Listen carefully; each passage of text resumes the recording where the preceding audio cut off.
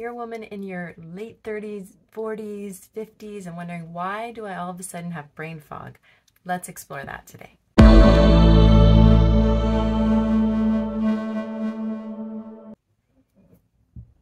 If you're new here, thanks so much for being here. Welcome back if you are have watched any of the prior videos. But on this channel, I talk about functional medicine topics like hormone health and perimenopause, postmenopause, even I've talked a lot in the past about gut health and and gene health. So there and metabolism. There's a lot going on here on the channel, so feel free to dive in. I've been on the on YouTube since 2019, but in my functional medicine practice, I focus on all of these too, too because I am a functional medicine doctor, a registered dietitian, nutritionist, and uh, a woman who's gone through perimenopause and menopause. So lots of experience in this area, and today we're going to be talking about brain fog and the hormone changes that may um, bring on brain fog. So, particularly perimenopause. So, what can cause brain fog and perimenopause? And if you didn't think, oh, if you think maybe I'm not in perimenopause, it can start earlier than you think it might. And this could still apply even if you're not in perimenopause because the um, symptoms could be a sign of a hormone imbalance. Granted, there are other things like stress that can cause um, brain fog, but let's talk about um, brain fog in perimenopause. So it is a very common symptom. And I just wanted to mention that I do have a whole blog on this and I'm just referencing the blog so that I touch on all the important points. If you see me looking over, that's what I'm looking at, or that's what I'm looking at. But uh, my blog is perimenopause.help and I try to post on there weekly or bi-weekly um, about hormone health in women, especially during the perimenopause menopause time frame of their lives. So, um, it, hormonal fluctuations like estrogen and progesterone changes are can contribute as well as stress that can contribute to brain fog um, and poor sleep. And the brain fog that we're talking about here it can be a lot of different, mean a lot of different things to different women. So it could be just like your brain is tired. It could be difficulty concentrating, trouble remembering, um, simple words sometimes. Now, granted, that could be something more complicated or more in depth that you need to explore with your provider. And I'm not here to replace your provider. You do want to see your medical provider if you're concerned about any of these symptoms. But I'm just telling you that these can, things can be associated. So sometimes a little bit of confusion and sometimes a simple forgetfulness. Um, and it can improve as women go through perimenopause or they get their hormones more balanced. And when you get to the year that you've gone, uh, uh, the day that you've gone a year without a period, that's officially menopause. And then after that, you're postmenopausal.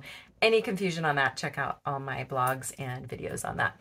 So, um, when you get to be postmenopausal, your hormones are still up and down for a bit, but then you kind of hit this steady state and you may not have as much brain fog. You may still have brain fog, in which case make it worse. You, you do want to talk to your provider about that if it's not leveling out or getting any better. Um, so some management strategies can be lifestyle changes, uh, the natural remedies that I talk about and natural healing that I talk about a lot on this, this channel. And then some women may want to consider bioidentical hormone replacement therapy. So you can have fluctuations in um, perimenopause and menopause in your estrogen, progesterone, and even your testosterone. Yes, women do need a certain level of testosterone to feel good. So estrogen, quick review of the phases. In the first phase of perimenopause, you will have your estrogen kind of roller coastering or maybe skyrocketing at times, but you're going to have that progesterone gradually declining. And then when you have that gap in the estrogen and progesterone levels, we can refer to that as estrogen dominance. So if you see any of my blogs about estrogen dominance or in my videos, that's what I'm talking about. So that can be the first phase, and then you move into like a later phase of perimenopause where the estrogen then joins the progesterone and starts coming down. And then you may have more of the hot flashes and night sweats and more of the um, insomnia, but you can have insomnia in the first phase too. And then that cognitive function, that change in um, that brain health and like the brain fog can make, can rear its ugly head during any of these stages. So estrogen does help to boost our memory and our learning through the hippocampus where the brain's memory center is. And it also helps our emotional health. So all those things can factor into brain fog when the estrogen is dropping. And then progesterone helps us um, with sleep and it can also help our mental function and our mental alertness too.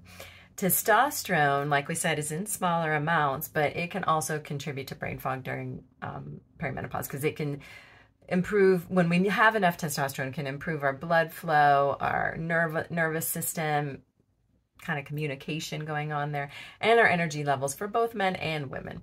So it is important to have good levels. We also want to think about, I forgot to mention this when going through the hormones, but cortisol. I have had quite a few videos on cortisol. I work with cortisol levels a lot in my functional medicine practice in Denver. And it if your cortisol is off, it can make your perimenopause and menopause experience a lot worse. So that's why I do tests like the Dutch test. I have a whole video and, and blogs on the Dutch test, and it's a urine test where we can look at the breakdown of your cortisol and where it's going throughout the day. Look at how your estrogen is breaking down, how your progesterone levels are, how your testosterone. We look on a much deeper level. And that can help us look at all these hormones to see what might be contributing to your brain fog. So it's a great test. Pricey, of course, like a lot of functional medicine is, unfortunately, but um, it's it's a great test to help us figure this out. But you can also look at these individual levels in other ways and work on them without looking at them too, as far as if you don't have the, the money to look at them in a functional medicine way. Um, so cortisol is our stress hormone. So if it's way out of whack, like too high, too low, that's going to contribute to brain fog too. So if you need to know more about that, check out my video on estrogen effect on cortisol and then cortisol supplement video also or improving cortisol video. And I'll put those in the description. So um, I already talked about what brain fog feels like during perimenopause. How long does it last? Well, it can vary and it depends on your overall health, your lifestyle. Are you drinking too much alcohol? That can make our brain function worse. Are you not getting enough sleep? That can make our brain fu function worse. Is your life too stressful or you know sometimes you don't have control over that but experience if you're experiencing too much stress that can lead to brain fog also. Um, so it could last just during the early stages of perimenopause and then get better or it could last the whole time and into postmenopause which is when you want to look at some of those other solutions if it's really a persistent symptom um, you can work on it though, and that's what the blog talks about too, but I'm going to touch on that here.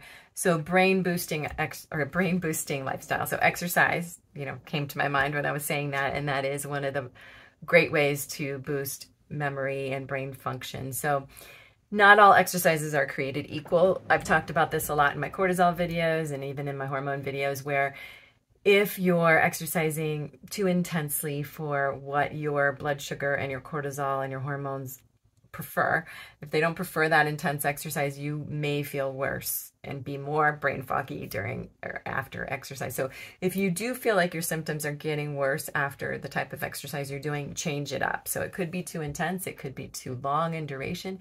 You may want to try yoga, Pilates, um, gentle, slow strength training, uh, circuit training, and stay away from the hard, harder hitting cardio or the longer duration cardio. So find an exercise you like and find one that you feel good and you get energized by and not completely depleted by. Of course, when you first start exercising, you're going to feel tired. But, you know, finding something that ha- that kind of is in your groove and can fit in your lifestyle and that uh, can uh, revitalize you after, you know, you get used to it after the first couple weeks of doing it. So as I talked about, also you want to um, avoid or limit alcohol.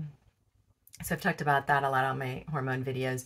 And if you can keep your alcohol intake to zero, awesome. If you can lower it to two to four drinks a week, awesome. Um, if especially if you're starting from a place where you're like six or seven a week or more, which I see some women that are drinking um, two or three drinks a night. Sorry,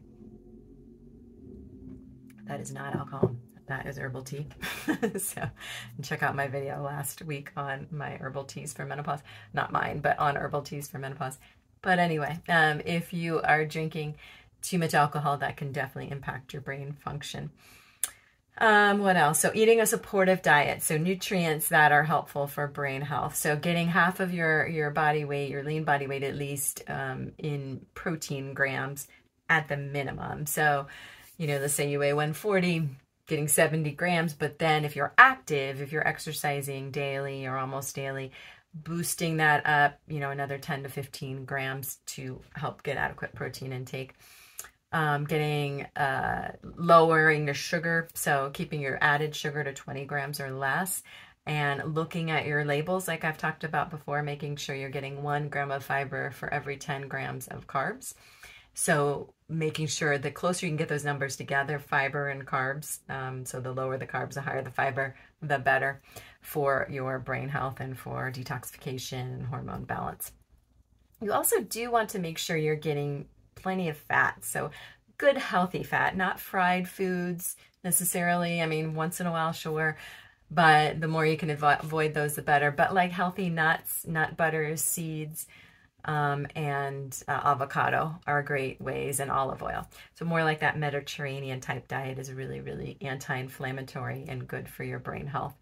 And then you also want to prioritize sleep. It's got to be a priority for you. You want to not watch TV in bed, not look at your screens in bed. Keep those blue light screens off for at least an hour if you can before bed. Um, keep them as far away from the bed as you can. And uh, definitely have a relax and kind of unwind process that you go through every night. And that could include some gentle stretching, herbal tea, um, some meditation or deep breathing, reading a um, maybe a, a, nice fiction book or a, a soothing book of some sort, an actual book. Um, and then keeping your temperature in your room of where you sleep around 68 to 70 degrees if you can comfortably do that. That's a great way to encourage good sleep. And you want to aim for seven to nine hours of sleep. And another thing to focus on is try to make that sleep time consistent. So even on the weekends if you can, but you know, during your work week, whatever that may be, trying to go to bed in between 10 and 11 if you can and wake up between 6 and 7 or just trying to make it as consistent as possible. Your hormones really really love consistency and your brain really loves good quality sleep. Let's see if i'm forgetting anything. Oh engage in mental stimulation. So keeping your brain active with puzzles with reading with learning new skills learning a new language traveling, you know, seeing new things, stimulated outside, going outside into nature and checking out the leaves and looking at the grass and trying to notice how many different colors you see or um, what you're observing, observing outside instead of looking at your phone. I know you all probably experience it too, but you go outside and you really see everyone, almost everyone you see on their phone or rushing somewhere. Slow down, take your time, decompress. Those are all great ways to keep your brain healthy. Um, and then if you need support, definitely, oh, uh, hobbies too, I meant to say, like craft, some kind of crafting, um, some kind of uh, thing like painting that can use that other side of your brain is also very helpful too. So prioritize your self-care if you're not um, spending enough time you know, doing those mindfulness activities, doing those creative hobbies, getting outside, having enough, if you don't have enough time to exercise, you got to rethink your life and look at how you can fit those things in because if you don't have enough time for those things, then you're probably overdoing something else that is leading to stress, which is then leading to brain fog and hormone imbalance. So seeking help, like with a therapist, if you need help, um, that's very helpful. There's a lot of online therapists if you don't have one in your community or if it's too hard to get to someone. Um, and then for mindfulness and meditation, I like to use that Aura app, A-U-R-A, and I'll put a link to that where you can try it free for seven days uh, in the description, see if you like it. But there are um, therapists, oh, sorry, my phone was giving me a low storage um, notice. So there are therapists on the Aura app that have recorded sessions recorded tips and guidelines and and something simple like that could be cheaper for you and a way to check in with yourself also. And then if you get to the point where you want to consider natural treatment um, it could be as simple as omega-3s so i love omega-3s fish oil algae oil chia walnut flax um, those are all great. Trying to get 1,000 to 2,000 milligrams of omega-3s. Trying a B complex, maybe having your B12 and B6 and folate levels checked by your doctor first. But trying a B complex, methylated folate is great. Methylated methyl B12 is great. Um, B6, not just a small amount, maybe 5 to 10 milligrams um, in a supplement, getting those all together. of 5 to 12, 10 of the B6, the um, folate is usually going to be like 400 to 800, and the B12 maybe 1,500 to 1,000 micrograms. So, and then adaptogenic herbs like rhodiola, ashwagandha, ginkgo, sage, and holy basil are all herbs that can help with your hormone balance and help boost your memory and brain function. So check those out. Thanks so much for joining me. Check out the blog at perimenopause.help. And I appreciate you being here. Remember to like, um, subscribe, and share this video, and check out and um, check out the other videos if you want to learn more about perimenopause and menopause.